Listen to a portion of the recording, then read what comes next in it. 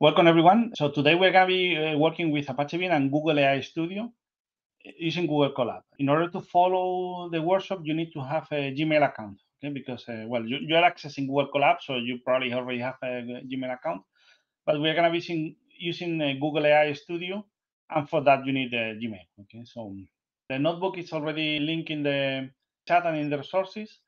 Uh, I have also a solution notebook that I will share afterwards. It's here, okay, but I don't want to share the solution yet, okay? So we are here to learn and solutions are poison for the learning process, okay? So when you look at them, they look easy, but uh, coming up with the same solution yourself, it's a lot of work and that's actually the learning process. So, so I, I will share it uh, afterwards.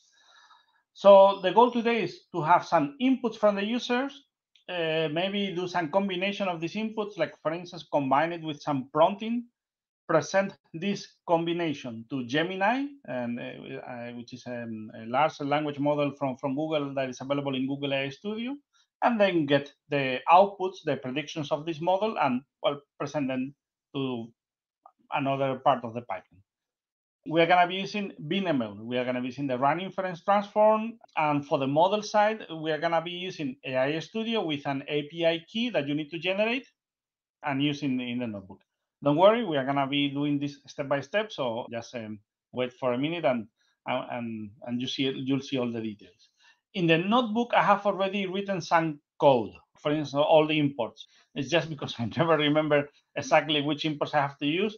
So that is already written some code, but we will try to write a lot of code also. Let's say the most uh, important parts in order to let's say to learn how to use a BeamML. So okay, so without further ado, in order to have a little bit more of a mm, screen size, I'm gonna put this here like this. Okay, if you use the same notebook that I'm uh, using, so you will see my code there. Okay, because it's shared with everyone. Um, so I recommend you to make a copy and to actually try to uh, follow along. Okay.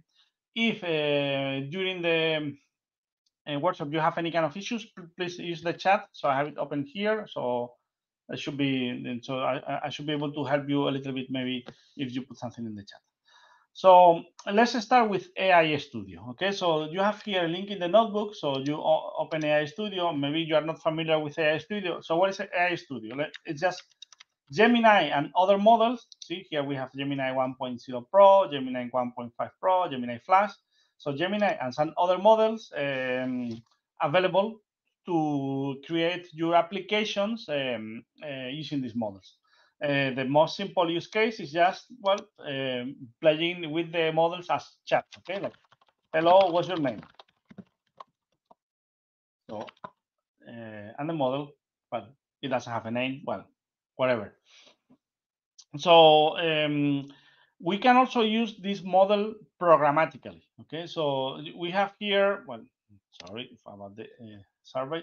So we have here some um, button here that says get code. Okay, and you can see, like for instance, for Python, which is what we are using, there is already a little bit of code.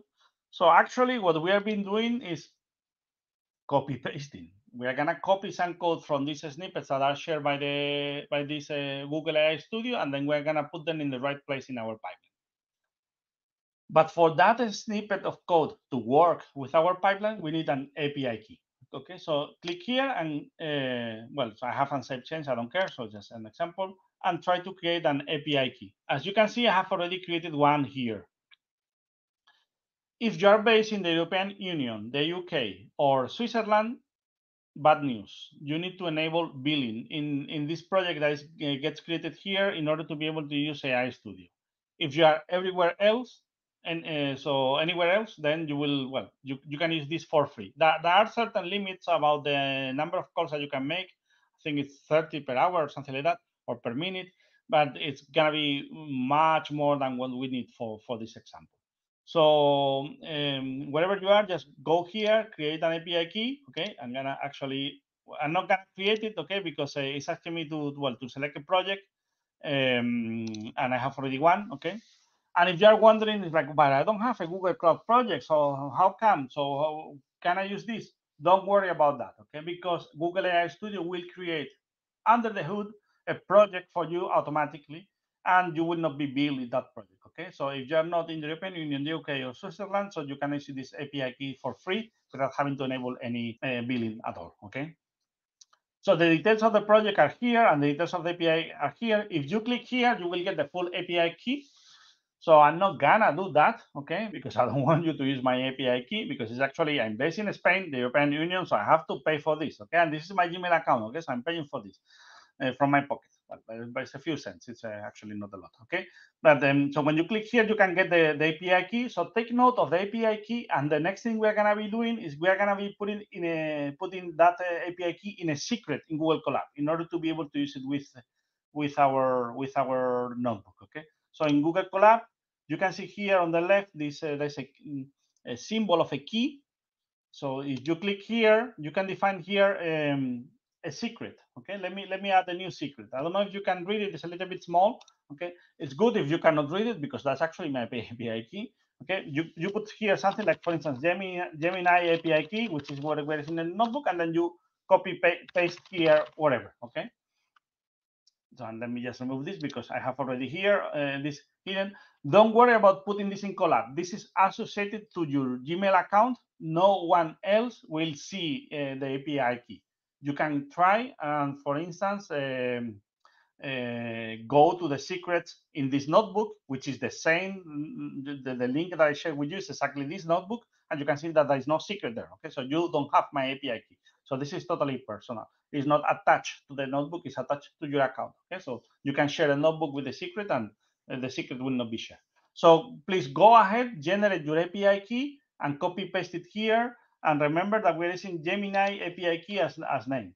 The name, you can change it later in the source code if you want, okay? Uh, and that's all.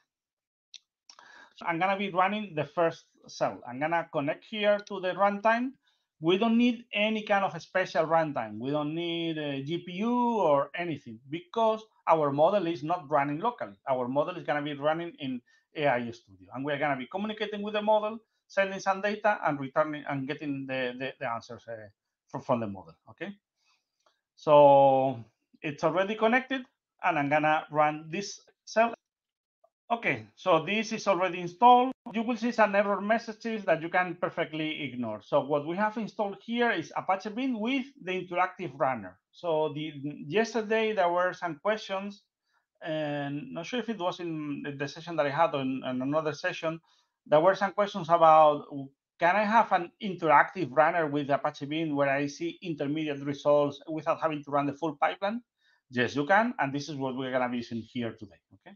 So I'm going to hide the output of this cell and I'm going to move on. So here we're going to be in, um, importing this interactive beam thing. And this is what is going to allow us to see intermediate results without having to run the full pipeline. And we are actually today, I don't think we're going to be running the full pipeline. We're going to be just having a look at each one of the of the P collections that we're going to be creating uh, to see that everything is going well. Okay, good. So let me run uh, this cell here and then move on to this uh, cell uh, here. So we're going to be running a streaming pipeline and we're going to be using the interactive runner. Okay. So what? So these are the options that I'm using here with Apache Beam. Since I'm running only in code, uh, so and these are normally things that uh, you pass as command line options. Well, I've I found this to be much uh, easier to to pass uh, uh, as like using this. Okay, so this lazy way of specifying the options. Good. Uh, we already have our pipeline options. Let, let's start with the machine learning side. So Gemini uh, is a, it's a large language model uh, that can help you well answer questions uh, and solve tasks. Okay, um, the model has already encoded somehow some knowledge about the world. Okay, like for instance geography, which is what we are gonna be seeing um, uh, today here. Okay, so in order to have the model do the task that you want, you do you need to do some prompting. Okay, so you are probably familiar with this, no? All these prompt engineering things and all this. Okay, so this is the prompt that we're gonna be using here today. Okay, so let's let's try this first manually. So let me copy this. Okay, let me go here to Google AI Studio. Let's create a new prompt. Okay, let me copy paste here. Okay, no, well I cannot make this bigger. Okay, but I'm just telling the model um, that it, well, let me, let me let me put here. So that is an expert in geography that knows all the capitals of the world. Okay, there are two ways of getting the model to do what you want. Okay, there are the way of trying to mm, praise the model, so to flatter it uh, and to make it work in the way that you want. You, you could also try to like to threaten it. Sometimes it works, but normally my experience praising works better than threatening, like just like with people. So we are pressing here the model a little bit, okay? And we are telling that whenever you have a country name, you reply with its capital. For instance, the capital of France is Paris. However, however, well, I don't know if you knew this, okay? So I like to tease my kids and my nephews with this kind of things. Switzerland has no capital. I don't know if there is anyone from Switzerland here in, in, in the call, but officially the Swiss constitution doesn't establish any city of the country as a capital because it's a federation and it's kind of a distributed federation. So officially it doesn't have a capital. For sure it has a place in the country where the government is, but that's actually not officially the capital. So we want this, we want our model to be as picky as I am and reply that when the country is Switzerland, it should reply with there is no officially recognized capital, okay? For, for instance, if I actually, if I remove this, let me let me remove this and I will copy paste. And I ask, what's the capital of Switzerland? Well, let, let, let's see what we get. Okay, so this is machine learning. We never know what we're gonna get as output. Okay, well, ah, the model is wrong. Okay, well, the capital of Switzerland is Bern. Well, probably you have uh, you would have answered the same. Okay, but we can make the model to answer something different. Okay, so now let me copy here the prompt. This, okay, where we are just telling the model that when the uh, country is Switzerland, it should reply something different, okay? And I put here as country, Switzerland. And if everything goes well, the model should only reply with the name, uh, with with the sentence that we have uh, put, not not not everything in. Uh, okay, there is no officially recognized capital. Okay, and then if even if I now ask the same because the model has the context. Well, see, okay, perfect. The model is doing what the what we what we want. Okay, and if I put something like this, country Spain, it should say Madrid. Okay, it's working as intended. Okay, so this is what we're gonna be doing in our pipeline. We are gonna be presenting a list a list of countries.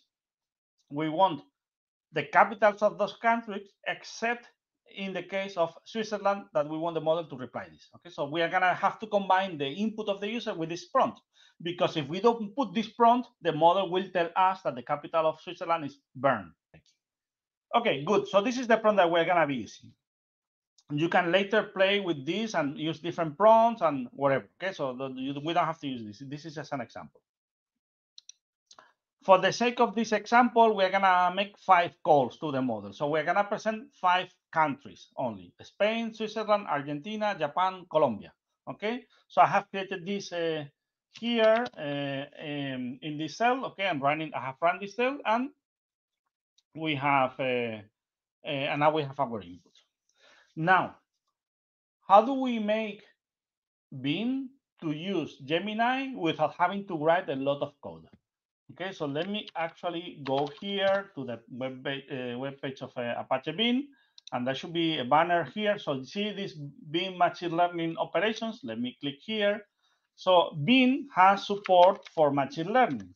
It has always had the support for machine learning. It was used a lot, for instance, in the scope of ML ops. Okay, but here we're gonna be using for for the different uh, tasks. We're gonna using, uh, be using uh, uh BeamML for uh, Eh, inference for predictions.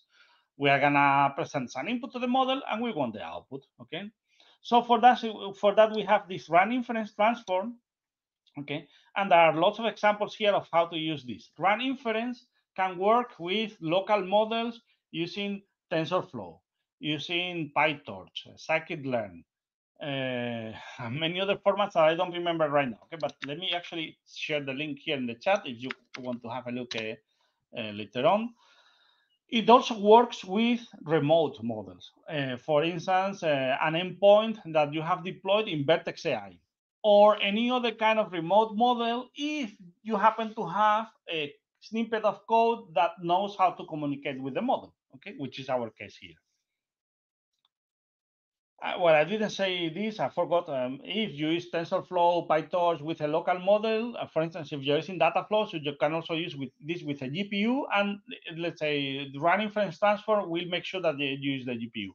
Uh, and the run inference transform, it has other goodies. For instance, it makes sure that there's only one copy of the model loaded in memory at once, okay? Because well, in a single worker, you don't need to have lots of copies of the same model because you can you can reuse that.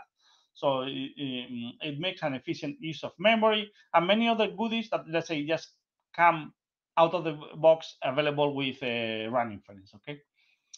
But now, so, run inference doesn't support all the situations right, right mm, yet, okay? So like for instance, can I use Google AI Studio with uh, run inference?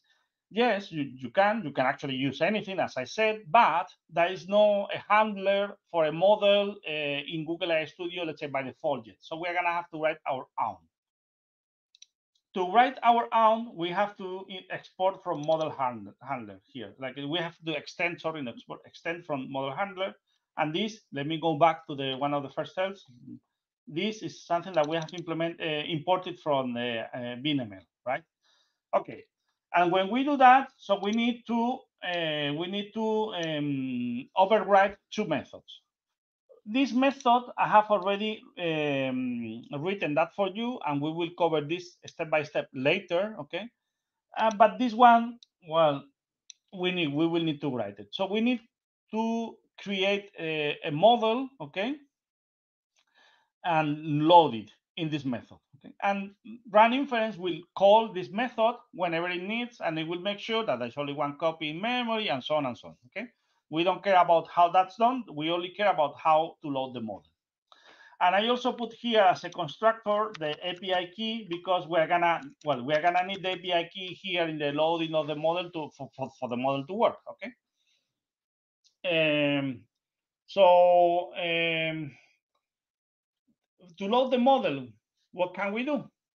Well, this is when we go to Google AI Studio and copy paste the code that was there, and we so we copy there and we paste it here. Let, us see that. And before that, let me let me see if the, there's a question here. Do we have a rate limit to make inferences with the Beam pipeline to the Gemini API?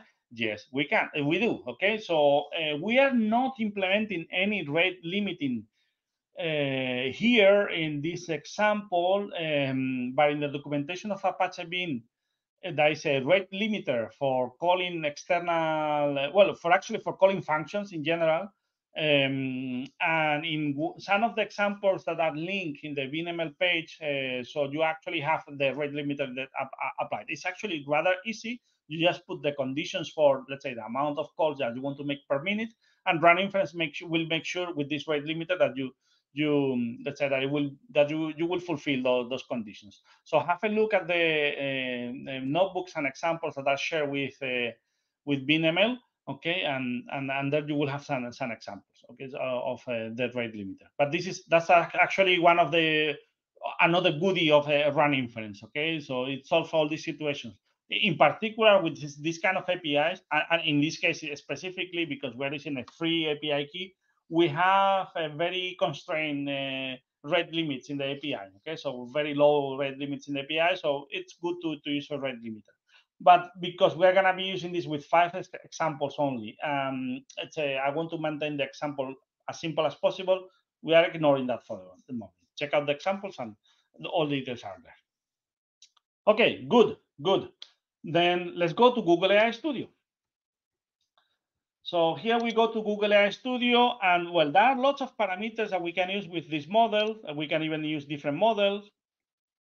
Uh, these Gemma models cannot be used remotely. Uh, they can be used in, in Google AI Studio, but not with API, the API. So we need to choose one of these three.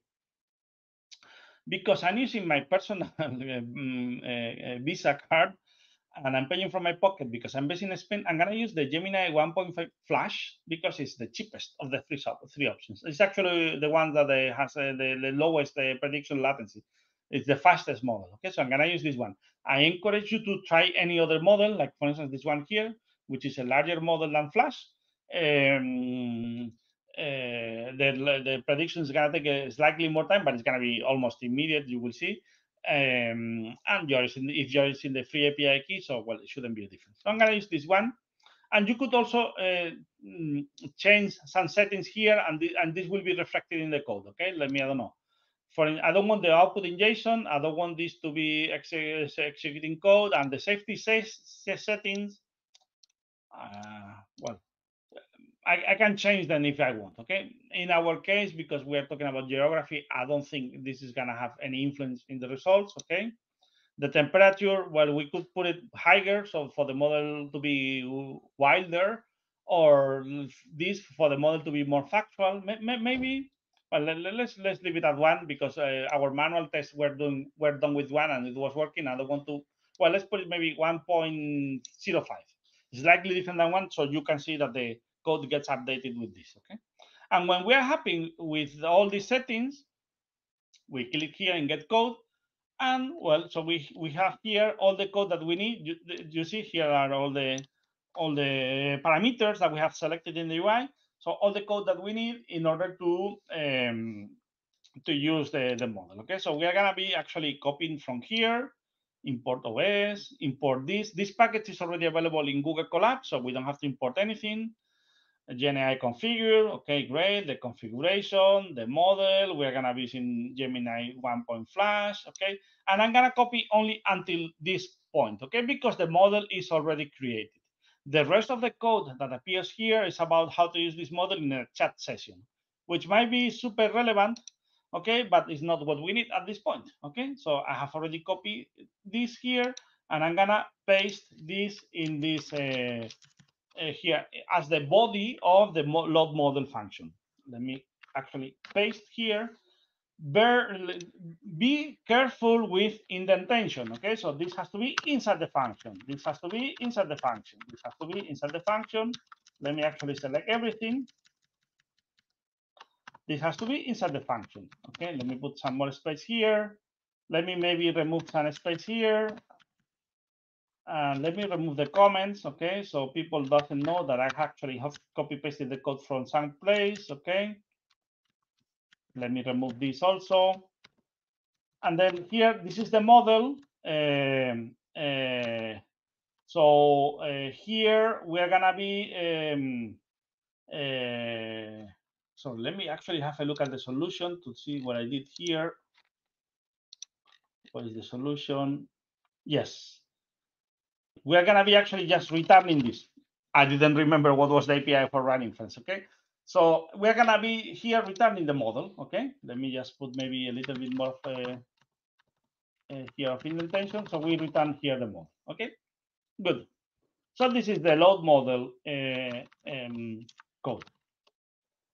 Does this have to be an mm, LLM model? No, this could be anything. If you have a way to communicate to an external service that if you present one input to the service, it, it returns uh, a prediction. So you can use that with uh, run inference too, okay? Because all that we are doing here is actually using some model, which is a an object that allows us to uh, communicate with uh, with an external service, Gemini in this case. Okay, so basically, what this uh, what it makes is well, so this makes an import. It's perfectly fine to leave these imports locally here in this method. This method is gonna be only called once per worker. It's not gonna be called a lot of times. Here, the API key, well, we need to actually change this because this is not gonna be in the environment. This is gonna be this variable that we're gonna pass when we construct the object later. The generation config, we don't have to do anything and then here it's all good, okay?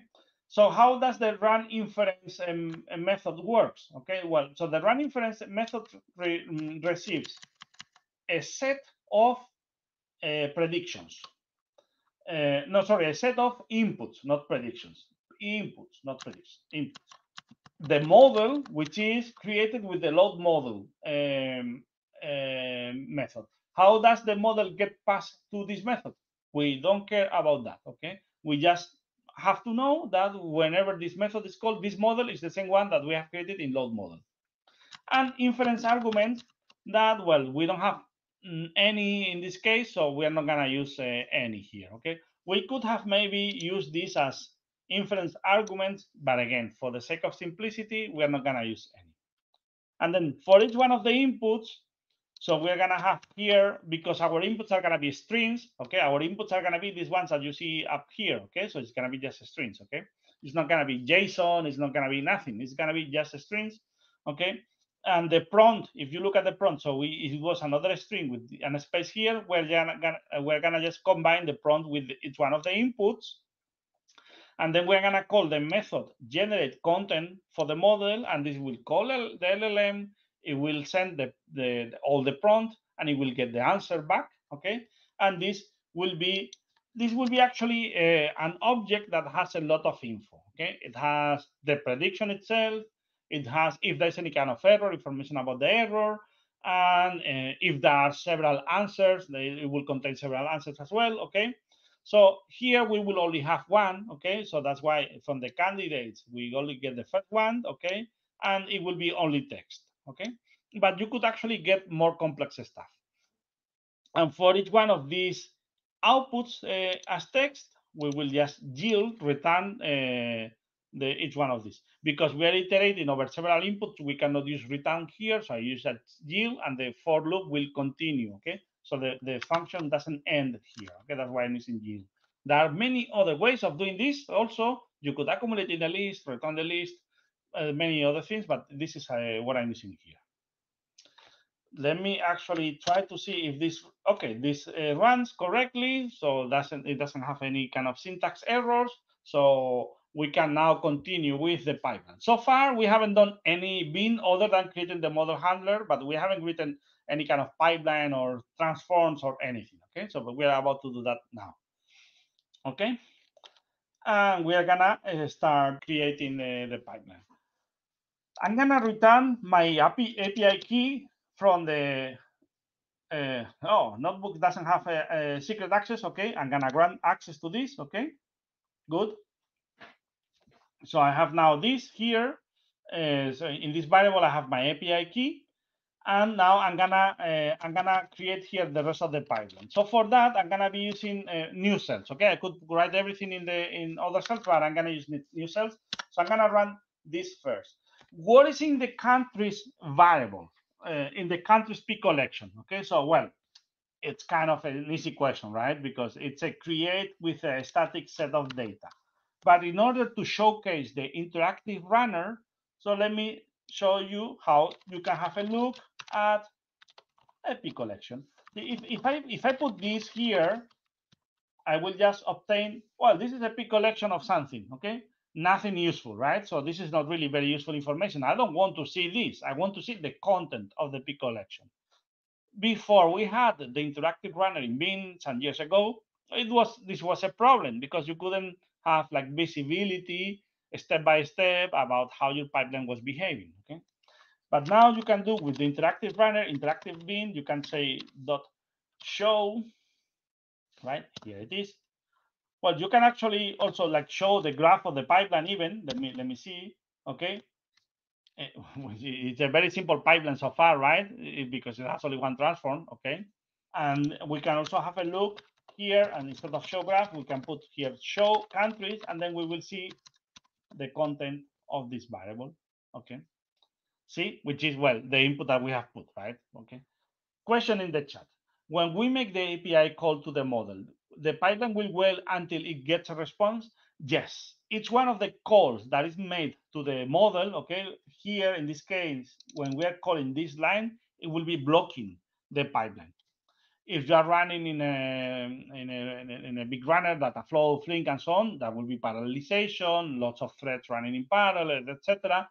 Uh, and then let's say the full pipeline will not be blocked. But each one of the threads will be waiting until it gets a response from the model and then proceed to, to, to, move, to move on. Okay. So if the model is super slow, the pipeline is going to be super slow. If the model has very restricted rate limiting thing. So well, so the pipeline can only move at that pace. Let's say if you have, I don't know, 30 calls per minute and you set up the rate limiter to be 30 calls per minute, you will be moving at the pace of 30 elements per minute, okay? Because the calls are uh, blocking. Yes, so the calls are uh, just uh, blocking. So this this call here to the model, this is totally blocking. Okay. Okay, moving on. So we have here shown the countries. Okay, this is actually not not a mystery. We already knew that this. Okay, but but this we can apply to any P collection. Okay. So let's actually start writing the next step. So how do we do that? So here in the countries, so we have a P collection of strings, which is just what we need uh, for um, uh, for our run inference uh, pipeline. And you can see here that the machine learning uh, auto completing is actually already uh, writing code for me. Okay, and then well, so I call my model handler. well, the model handler is a model handler is. Gemini model handler. and actually well let me let me let me just put this here um, uh, auto completed okay um, remember that the constructor had this parameter uh, one only parameter which is the API key. I got the API key here from my secrets because I previously stored my key in the in the secret store of Google Colab. I did that before the workshop okay? If you haven't done that yet so do it or this is not gonna work okay? Well actually this call should have failed if you would don't if you don't have the api key here okay and now let me call these predictions okay assign these to predictions okay so we have the countries and then we pass this to the run inference and because we are using this model handler this will be combined with the prompt presented to um, uh, the LLM and so on. I run this, and look, it runs super fast. Why is that? Because it has not run now, okay? It's not running yet. So this is lazy evaluation, okay? So this is the specification of what's going to happen, but it has not run yet. When we run the pipeline, I could call .p.run, for instance, but then it will be useless because we will not see the output, okay? Or I could do this, the interactive runner, look, show me what it would run so far in these predictions, okay? Let's see what we get. And now it may take a while because we're, okay.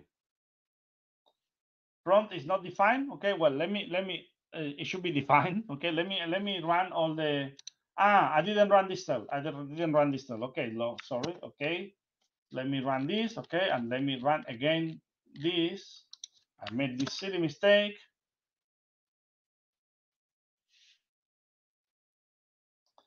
Well, now it's taking a while. It's going go to them. okay, here it is. Okay, so the the returns, the, the results are returned in the same order as the input. Okay, so we see Spain, Madrid, Switzerland. There is no officially recognized capital instead of Bern because it's using our prompt. Buenos Aires, Tokyo, and Bogota. See, now we have made our first inference pipeline in streaming using Gemini and, and, and LLM as easy as this, okay? Now you can play with whatever you want, okay? Like say for instance that I change this, okay? And I put just, I, remove the prompt here, okay? And then, well, who knows what we are gonna get here, okay? Or maybe maybe we could put something like like this. What's the capital of? Let me actually put here an F string, okay? What's the capital of this country, okay? okay, and then I run this, okay, and then I run everything. So this is gonna be the same inputs, but now the prompts that we're gonna be presenting is uh, they are different. And the model, the model doesn't have any context. It's not gonna remember anything because we are not putting any memory. If you go to Google AI Studio, you could actually um, uh, do prompts that have a chat, a memory, and so on. Okay, let me let me show you very quickly here. So if you go here, see, you can have history, you, you can have see a lot of uh, things Eh, so the model remembers the conversation. So, but we are not doing that so and because we are not doing that if we run this now let's see if we actually get the and I don't, I don't even remember where I ran maybe maybe let's see if this works if not I will run it again. See? Now we get an entirely different output okay? So it says the capital of Switzerland is Bern, the capital of Argentina is Buenos Aires, and so on. Okay, Good. Okay. And then if we recover here our prompt, okay, just prompt plus b again. We will get the same output as before. Good. What if I want to actually run the pipeline? Then, well, I can add another step here. For instance, I could do a predictions and being uh, map a print, okay? Let's see, this should work, okay? Good. And then I could do a p.run, and maybe I will see some output here, the output of the model, because I'm calling again the LLM, okay? See, here's the output again, okay? So this is the same as a, uh, this is running the pipeline, okay? We have been using the interactive runner, and here we are just running, running the pipeline. Okay, folks, so so this is on. Okay, so let's recap a little bit about what we have done. Okay, so you may be a little bit disappointed, like it cannot be this easy to use ML with Beam. It is. Okay, so this is actually the magic of run inference.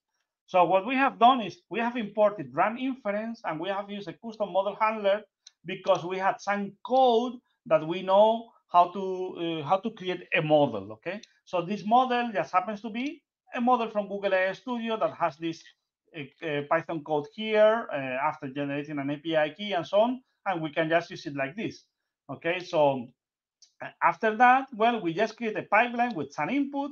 In this case, we are combining here with the prompt that we that we want, but it could be anything. And then when the model is presented with those inputs, it returns these predictions. Okay, and again, this works with anything. Local models using TensorFlow, PyTorch, scikit-learn, uh, you can import Hugging Face pipelines uh, remotely without having to load anything locally. You just put the reference to the Hugging Face pipeline and the, the worker will download it automatically. You can use remote models like uh, the ones that we have seen here. There are handlers already for a lot of situations. For Google AI Studio, not just yet, okay, and they will be actually very soon um, um, included in the run inference, and this workshop will have no it, it, will be even easier in that in that case because we will not even have to to write the model handler even. Okay, so so it's this easy. Okay, so um, if if you look at uh, how to make inference in streaming at large scale, so here we're running a very small example, but we could have done this at very large scale. There are really there isn't really no standard right now uh, out there in the community to to to do um, inference streaming pipelines. Uh, especially if you're working in the cloud, each one of the providers, Google eh, eh, on other providers, and so they, they have the endpoints uh, offering for putting models and being able to call them online. And you can do some streaming inference, maybe, I don't know, combining lambdas, cloud functions with that, and so on and so on. But, but again, you are attached to, to, to the platform of, of this provider. You need to have an endpoint, use a lambda, a cloud function. If you want to have an standard solution that is not attached to any platform, I, I think that right now Beam is the only solution uh, that guarantees this. So I think there's a lot of potential that um, as we uh, as new use cases for using streaming inference appear, um, so uh, Beam will be will have even a, more prominent role in this in this field. Okay. Um, uh, if, if, you think of how many of these new websites that are appearing around AI work, like generating images and doing all kinds of uh, wild stuff. Uh, a lot of them so have to run things asynchronously. So this is the perfect scenario to run something with something like a, with Apache Beam. So you just send your predictions and wait for the predictions to be ready. When they're ready in your output, in some kind of message queue, Kafka, whatever. So you load them in your web, in your app, and so on. So it's actually it is very easy to write the pipeline and very easy to integrate with any kind of existing platform, any web or any app.